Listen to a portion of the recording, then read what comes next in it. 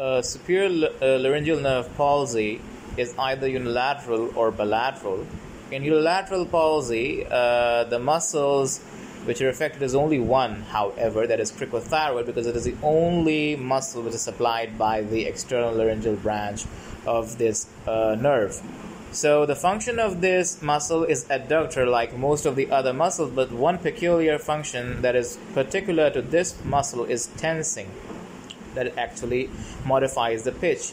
So uh, the features is that uh, in unilateral paralysis there is not a severe uh, uh, uh affliction on the voice, however, and recovery is fast. There, therefore, there is no treatment, but uh, the things that you might notice is that the pitch of the voice cannot be raised because the tensing of the vocal cords cannot be done, the vocal folds cannot be done.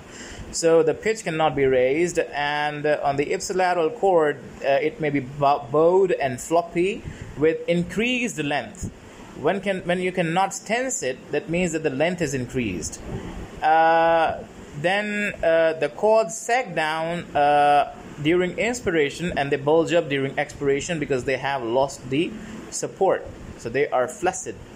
Uh, unilateral uh, anesthesia, uh, unilateral uh, paralysis anesthesia of the larynx above the level of the vocal cord is also common because if you remember that the internal laryngeal branch of this nerve, superior laryngeal, supplies the uh, uh, area of the vocal of the larynx above the vocal cord uh, like the, the, like the sensory branch of the uh, recurrent laryngeal supplies uh, below the uh, cord. So there, therefore, there is the anesthesia above the level of the vocal cord, and there is no treatment because recovery is fast. In bilateral paralysis, the features are that the voice is breathy and weak because uh, tensing uh, is gone, like completely gone. So you cannot tense it, and the voice is breathy and weak, and uh, also deeper because you cannot raise the pitch completely. And there are also high chances of aspiration because there is bilateral anesthesia of supraglottic part.